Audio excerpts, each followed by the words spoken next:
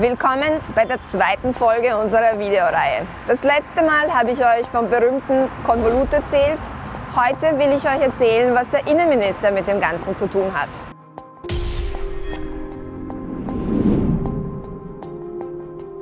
Als der Innenminister im Dezember angelobt wurde, hat er seinen Generalsekretär, den Herrn Goldgruber, beauftragt, im Bundesministerium für Inneres aufzuräumen. Der Herr Goldgruber hat das Konvolut genommen, sich durchgeschaut, es sogar zusammengefasst und ist extra zur Wirtschafts- und Korruptionsstaatsanwaltschaft gegangen, um diese noch einmal eindringlich darauf aufmerksam zu machen. Eines muss man aber wissen.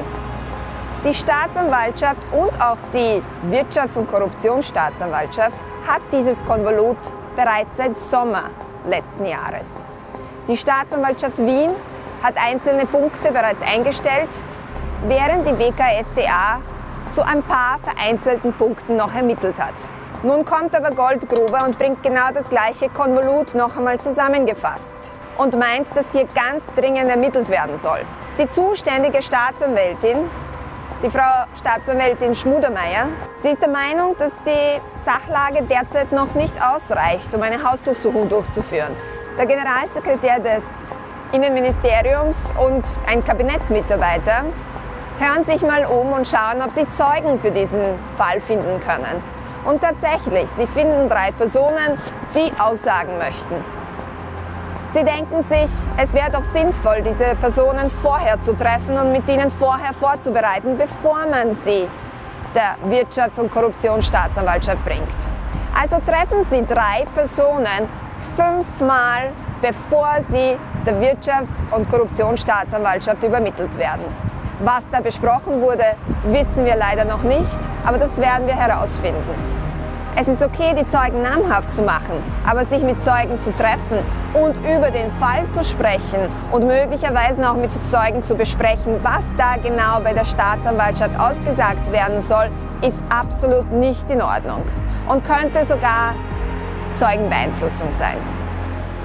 Warum finden wir das Ganze hochproblematisch?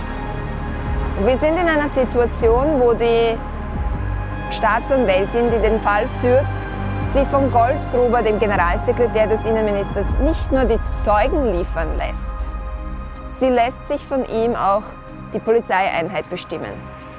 Normalerweise müsste die Staatsanwältin sich überlegen, welche einschreitende Polizeibehörde beauftragt werden soll.